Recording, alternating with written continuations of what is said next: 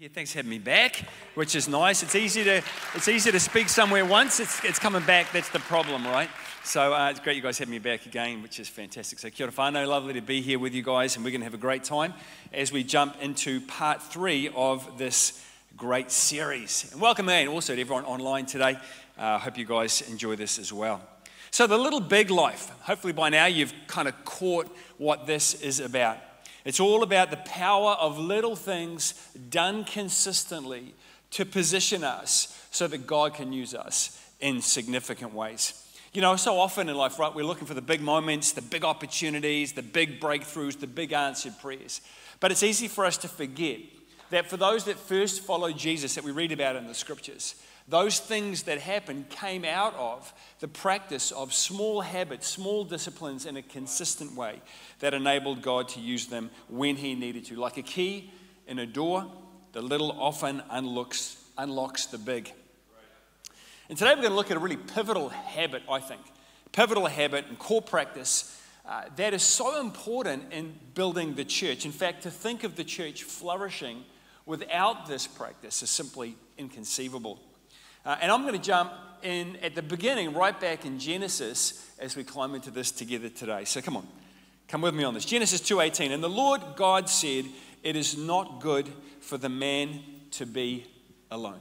What's God saying? God's saying that, that this person that I created, actually, it's not good for him to be alone, to be isolated, to be by himself. God's not not like taking a head at, at, having a bit of alone time or, or you know taking some time out. That's not what this is talking about. What this is talking about is the fact that togetherness is a core human need. In fact, we're not even fully representing the image of God until we are in some way together. Right? That is such an important thing for us to realize today. I mean, think about it. How do we most severely punish someone, for example, who's in prison? We put them in solitary confinement. That says something to us, right? That's really important. The problem of emotional and physical isolation from other human beings is a massive issue in our world today.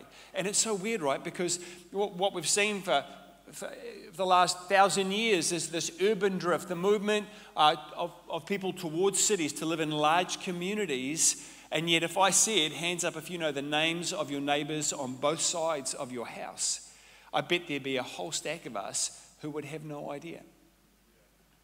Human beings need others. We are made in the image of God. Babies die without human contact. Actually, so do adults. It's just slower. We are social beings. We're not just physical, mental, and spiritual. We're also social beings. That's how God made us because we are made in the image of a triune God. Listen to this. Pastor Kate Wharton, a single woman and a minister, writes Ever since God declared that it was not good for Adam to be alone, human beings have been living alongside one another, sharing life together. She says, I need other people in my life. I need them to offload to after a bad day. I need them to work alongside in meaningful ministry. I need them to share a bottle of wine with as we put the world to rights. I need them to point out to me the parts in my character that I need to work on. I need them to celebrate with me when good things happen. I need them to spend some of my days off and holidays with. I need them to give me a hug and tell me everything's going to be okay. We need to regulate and habitually spend time with others. Let me go to Hebrews now. Hebrews chapter 10 23, and this is where we're going to spend most of our time today.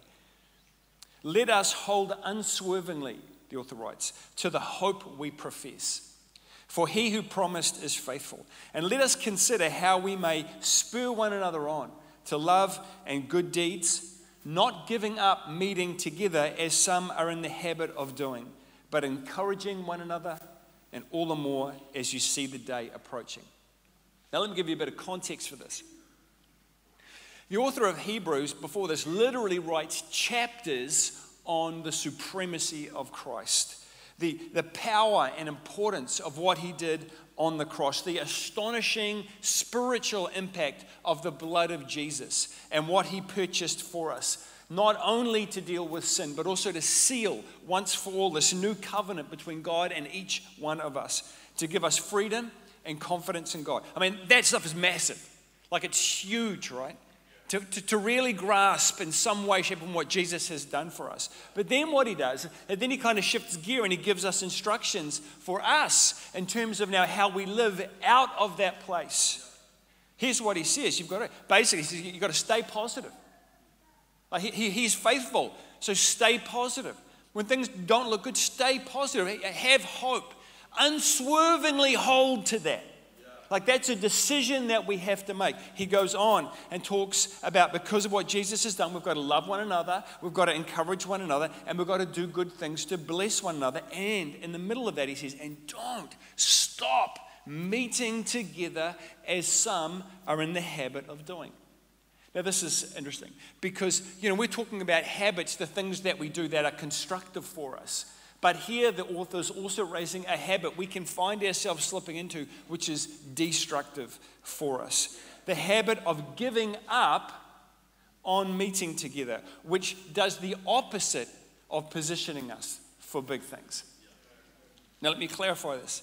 I believe everything has a season. Every church has a season. Every small group has a season. Every set of relationships to some degree have a season in life. I'm not saying you have to stay in the same small group till Jesus returns and if things have fallen apart, you know, then, then you're deep in sin. That's not what we're saying at all. But here's the thing some people give up on groups, some people give up on journeying with others, some people give up on being around challenging people, and they do that repeatedly. Look, if a relationship or a group, or look, honestly, even a church, actually, if it's destructive and toxic to you, man, you need to move on. There are necessary endings in life. However, if you're doing it because it's a bit awkward, or because it's a bit uncomfortable, or because it's a bit challenging, then that is a habit that you need to address in your life and replace it, or else in the end, it will sideline you in God's kingdom. You know, the German theologian and pastor Dietrich Bonhoeffer writes Sin demands to have a man by himself. It withdraws him from the community. The more isolated a person is, the more destructive will be the power of sin over him. And the more deeply he becomes involved in it, the more disastrous is his isolation. Togetherness is unbelievably important, and we just need to accept that.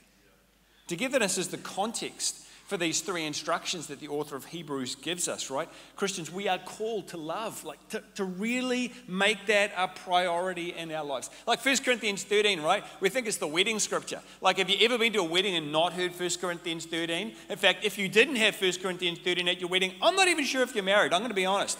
You know, like, but, but, you know, 1 Corinthians 13 was never written for, for weddings. You know, if you can prophesy, if you have all wisdom and all knowledge, and if you have the faith that can move mountains, but you don't have love, you are nothing. I mean, do you hear what do you hear what the author is saying? Paul's saying, man, you can have that kind of faith, man. You can shuck them high and prophesy and read everybody's mail, and you can have all that down. You can know everything, have all the answers for everything. You have the faith, you pray, and just stuff changes and people are healed. And God is saying, you have all of that, but if it actually doesn't come from love, like real love, then your scorecard is a big fat zero. Like that should, that should freak us out a little bit. Because, particularly because we're Pentecostal, right? Now we love the signs and wonders, we love the healing, we love the prophecy, we love that stuff. And God's saying, uh, all good stuff, but actually, if it doesn't come from love, you are utterly missing the point. And I would much rather have love than all of those things. And in fact, we see that in Matthew chapter 7. You know, so, so love, good things, encouraging. But how can I encourage someone if I'm never with somebody? How can I love someone really if I won't make time to be with them? How do I do something good for someone and bless them in meaningful ways if I won't turn up? So this is, these, these practices are really important. Now, the challenge can be sometimes, right, is that we can find ourselves going, eh, I don't think I'm getting anything from this group anymore. And, and can I suggest that if, if that's kind of where you found yourself thinking, maybe it's time for us to change our consumer mindset and come together to give more than receive. And I promise you this that will radically change your experience of community. So we've got to come together, first of all, right, to encourage one another. 1 Thessalonians 5 10 and 11. He died for us so that whether we're awake or asleep, we may live together with him. Therefore, encourage one another. We should be the most encouraging people in our world. Our homes and our churches should be the most encouraging places. Listen to this. The goal of encouragement is not to make someone feel good, it's to make someone feel brave. Encourage means literally to put courage into someone so that then they can go out and step out and face their life and all of the things they've got in it with just a little bit more courage, a little bit more bravery. Remember that when you come to encourage somebody. You know, when I was a young man, the age of um, 22, got saved, I had shocking self esteem. In the church I went to, Elim Church in Dunedin, I got involved in this young adults group, and there was this couple that used to have the young adults round to their place um, every week. And, and every time I'd rock up there, this guy, Bill, Bill would always encourage me. He'd say, Mike, you're, you're a great guy, Mike. Gosh, it's so good seeing you, Mike. You're awesome. After a while, it used to really tick me off. Because I'm like, bro, you don't know me, and I'm not awesome. But you know what happened? Despite my best efforts to push it off, after a year of sitting under his encouragement, I was different. How I felt about myself was different. I tell you, his weekly habit of encouraging me changed me. Can I say to you, if you have a weekly habit of encouraging somebody, you will change them. It is a powerful thing. That's part of why we have to come together and encourage one another. Secondly, we've got to love people. I, I touched on this before, but you know, we've got to learn to see people, like see people and love them. I love in, in Matthew, uh, sorry, in Mark chapter 10, Jesus with the rich young ruler, it says this. It says, Jesus looked at him and loved him. How often do we look at people and never see them? I remember this time when I was studying. This is many years ago. This is actually before I was a Christian. I remember coming out of a university class one time and I got into a brief conversation with, with, with a person who was in the class with me. And, and I said to her, so how are you? And she said, good. But as I looked, there was just something that just wasn't good. And so I simply repeated the question again. I said, No, how are you? And her eyes just filled up with tears and started spilling down her cheeks. She said to me, No one has ever asked me that, actually wanting to know. And we, we talked briefly, and she assured me that she was fine. But she was deeply impacted by the fact that I cared enough to ask twice. Can I suggest that maybe sometimes some of us need to learn to care enough to ask twice. God might just touch someone powerfully through you. The third thing that we, we do in our togetherness is that we do good deeds for one another. We do good things. Ephesians chapter 2, verse 10. Listen to this, right? For we are God's handiwork, created in Christ Jesus to do good works. Now, we're not saved by good works, but we're changed and we're impacted to be a force for good wherever we are, right? Acts of kindness, acts of generosity, actions to help people, serve people, acts of caring faith, to pray for somebody, to bless somebody, to build somebody up. I remember after we had, uh, when we had Ellie, our, our first child, our first daughter, um, we got involved in this antenatal group and it was great. We made some great relationships with some of those people in that group. And there was one particular couple we kind of hung out with for several years after that antenatal group. And I remember they were around at our place one, one afternoon, we were catching up, and she was an athlete, and, but she had chronic, debilitating back pain. And as they left to go, I just kind of stepped in and I said, Hey, look, can I pray for you? She goes, Yeah, sure. And so I stepped up close to her, closed my eyes, put my hand on her back, and just prayed for her and asked that God would heal her. Now, when I opened my eyes, I, I could see that I'd done something wrong. Like she was like wide eyed and looking stressed, and they quickly left. And I thought, oh my gosh, what have I done? You know, like I, have overstepped, I, I made a mistake, I've blown this. They weren't Christians. And so that afternoon, I rang them and I asked to speak to her, and I just apologized. I said, Look, I'm so sorry. I guess, you know, being a Christian, I'm just, I'm kind of used to doing that. I forget that you aren't used to doing that. And she interrupted me. She says, No, no, no, you don't understand. She says, I was so touched that you not only cared enough, but you also believed enough to actually pray for me. Then I was so overwhelmed, I just didn't know how to respond. Do something good for someone and leave the results to God. Amen. And can I say that there are people in our community that may not make it if we don't learn to do togetherness well? We have widows and widowers in our church, in our congregation, who, having lost their spouse, They don't get seen anymore. They don't get touched anymore. These ones need the care and the hugs of family like what we are. We have single people and same sex attracted people of all ages who are trying to live their best life and live faithful to God, and they need the encouragement and the companionship of their church family. We have couples and parents who are struggling with the curveballs that life throws at them, and they're trying to have faith that things can get better, that things could turn around in their marriage or with their kids, and they need church family to give them hope and to be a safe place where they can vent and process. We have young people caught up with groups and individuals that are just not good for them. And they need youth groups and events like our upcoming Encounter Camp where they can find God and find friends who are going in the same direction. But none of this happens unless we make it a habit to meet together. Look, some people have a habit of meeting together uh, in church, in the cafe. Afterwards, they sit down, they hang out there for an hour, awesome. That is fantastic. Some people make a habit of, of being a part of a small group or even more than one small group and having some food together and some laughs and maybe digging into the word. Awesome. It doesn't matter how you do it, you just need a habit of it. We've got to be intentional because if we're honest, the problem is that meeting together isn't always easy, right? We're all different, man. We click better with some people than others. Some people inspire us, and some people just annoy us. And yet, nowhere does it say in the scriptures that they continued to meet daily with the ones they particularly liked. As helpful as that would have been if it was in the scriptures. You know, I had, I had this small group that I met together with for a couple of years, this is years ago in Dunedin. Uh, I haven't often been in a group with so many people that annoy me uh, as I was with this group. This was a group of, of some people who couldn't kind of find their way into another group, and so I kind of gathered them together. We had an ex gang member with an extremely pronounced lisp that seemed to get worse when he got really angry, which he seemed to do regularly in small group.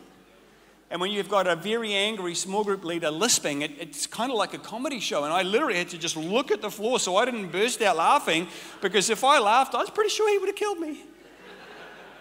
Then there was a woman who had a whole range of issues, and she would just sit there in the chair the entire time, just rocking back and forward the whole time. Honestly, after 45 minutes, I'm seasick.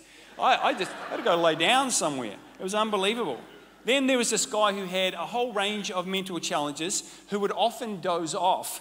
And when asked the question, because I would have to ask him questions to keep him awake. And so I would ask him questions, and he would respond every time with a long monologue in which he jammed together all of his theology, I guess hoping that somewhere in there it would answer my question.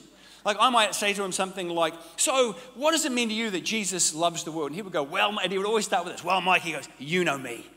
He'd always say, You know me. And then it would begin, You know me. I, I love God. And He came for us. And He came for us in the ark. And in the ark, they came together two by two with 40 loaves and 40 fishes. And then the whale came and ate them all. But then the whale vomited them out because they were neither hot nor cold. And they arrived at Jericho. And then Nehemiah rebuilt the wall. And then Jesus came down with Daniel and the lions. And together they went through the fire with Shadrach, Meshach, Abednego. And then they all ate 40 loaves. And Jesus reached out his hand and healed them in Jesus' name.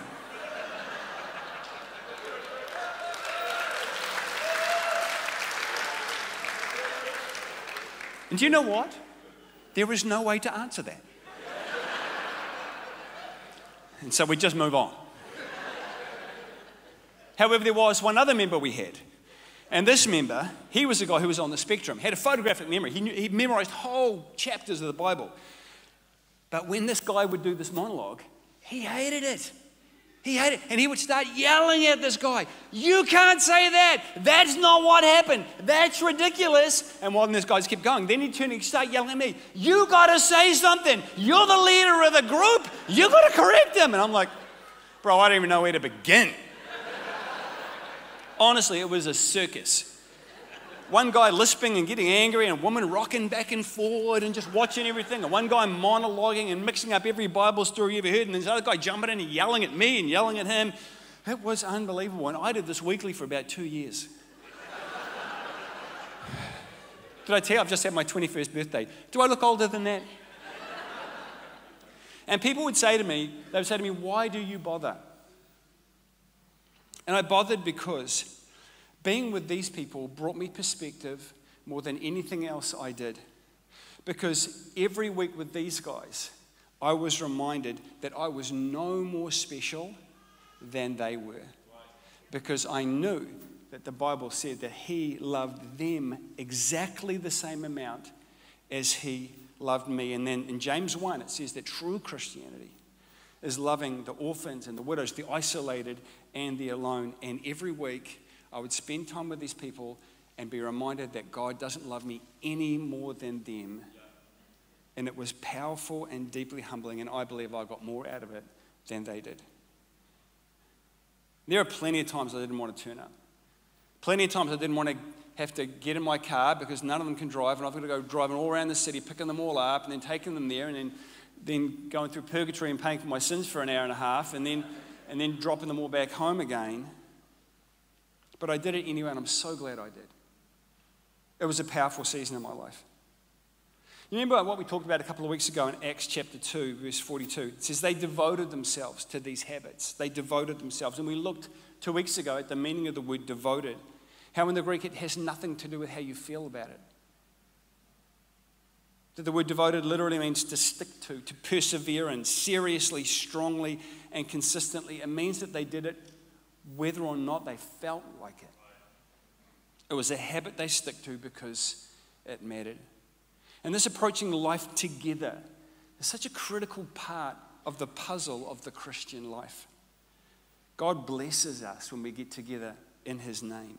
It makes a difference, it builds the church, and it profoundly affects us. We'll get the team to come now as we come to a close. You know, I heard the story of a church, uh, a rural church led by a young minister who who uh, really made a point of following his people up. And he had an older couple in the church, and, and the wife, uh, after a long illness, died. And the, and the husband, this older man, man, it, it was obviously an incredibly tough time for him. And, and he just came to church less and less until he stopped coming at all. And the minister tried to call and tried to connect with him to no avail. So after several months, the minister just thought, oh, he was just going to go see him. It was a bitterly cold day. He rocked up at the door and knocked on it. After a few moments, he heard the man shuffling across the floor. The door opened, and the old man looked at him and just said, Ah, oh, it's you. Then he turned and walked back to his chair by the fire. Well, you better come in, he said, reluctantly. The pastor hesitated, then walked through the door, closed it behind him, hung up his coat, and went and sat in the other chair positioned in front of the fire. He said nothing, and neither did the man. Many minutes went by, and then finally the pastor got to his feet. He picked up the poker from beside the fire. And he, he stuck it in the fire, which is a burning heap of coals. And he, and he just separated out one of the coals and he moved it about 20 centimeters away from the rest of the fire. And then he sat down and they continued to stare into the fire. Over the next few minutes, that coal, now separated, slowly cooled until it changed color and stopped burning, went from a, a glowing orange to a dull black. The minister just sat there for another couple of minutes. Then he got to his feet again, picked up the poker again, and then nudged the coal back hard up against the rest of the fire and sat down again. In seconds, that coal burst back into flame and its color slowly changed from black back to a warm orange glow. The pastor sat there in silence for a few more moments, thanked the man for allowing him to come in. Got to his feet, went to the door, put on his coat, and opened the door to leave. As he opened the door, the man sitting in the chair said in a low voice, Pastor, thanks for the sermon. I'll see you on Sunday. When we no longer meet, we lose our heat. Together, we burn brightly. Can I challenge you this morning? For those of us who are uh, meeting together with others regularly, that's an awesome thing. Can I encourage you to make sure that you're turning up with a heart to give, to sow, to be a part of pouring into others? For those of you who have let go of meeting together because you haven't been getting much out of it, can I encourage you to try it again, but really go in with a different intent this time? For those who have been burned, and probably we all have, eh? every one of us at some point, been burned or been disappointed or been let down, and who have stopped meeting together, maybe it's time to try. There is something powerful and big that happens when we make a habit of getting together regularly. It's how the kingdom is built. Amen. Let me just pray. Mighty God, I thank you once again for your astonishing word, Lord, and just the richness of what's in there for us. God, as we look at, at, at, those ones who followed you right back at the beginning, right, and we look at their habits and look at what they did consistently, whether they felt like. God, the, the, these small, ordinary practices, but God, we see that they, that they were positioned for you to do great things through them. And I pray, God, for us, that as we lean into this habit of getting together, God, that we, as we commit ourselves afresh for a new day, a new season, a new chapter, God, I pray that you will surprise us with the things that you do in us and through us. Jesus' name.